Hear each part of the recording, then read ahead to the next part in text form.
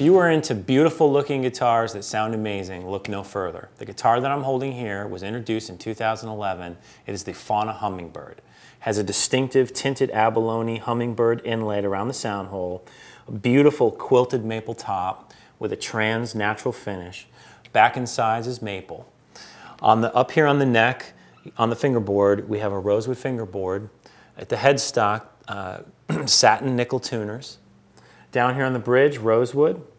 The onboard preamp is a B-band, three-band EQ with phase reverse, and it's a cutaway acoustic electric guitar. Over here on the lower bout, XLR and quarter inch jack. Everything you need to start playing live and having a great time. If you want to learn more about this guitar, go ahead and check it out at lunaguitars.com. Let's take a listen. Let's hear the Fauna Hummingbird acoustically.